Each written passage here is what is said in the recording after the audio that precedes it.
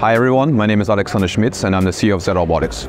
We are a hardware and software company that makes tactile sensing technology in order to provide the human sense of touch to robots. So we work on tactile sensors, we integrate them in robot hands and grippers, and we also work on a tactile AI. So AI has been very successful in a cyber world, but applications in robotics are still limited. So we believe that it's time for AI also to shine in the real world. So limitations of current tactile sensors are that they're often too big for the integration in thin robot skin.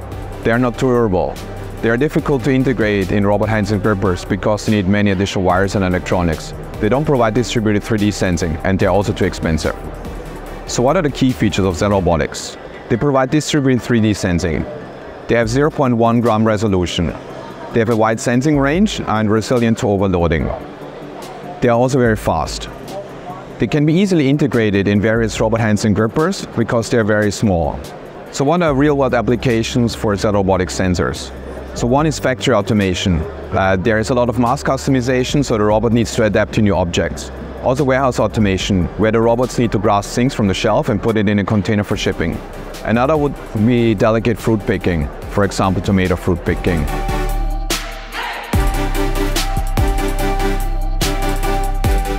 So for example, we integrated the sensors into this gripper over here, which is very thin and so it can be easily integrated into the gripper. We also integrated a sensor, for example, in this robot hand, and here we have 368 three-axis tactile sensors, and all the measurements are digital, which makes integration of so many sensing points in the robot hand feasible.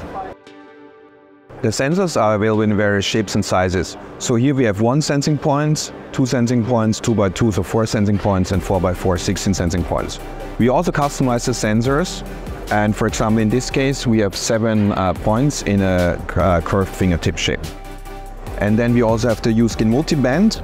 And in this case, the sensors can apply to curved uh, surfaces.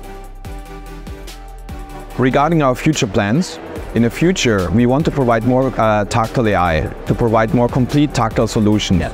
for uh, robots. And then we also plan to integrate it in uh, for humanoid robots, so more humanoid hands, for, uh, for work, but also, for example, at home, for cooking, cleaning, or entertainment. For more details, please go to www.xelarobotics.com.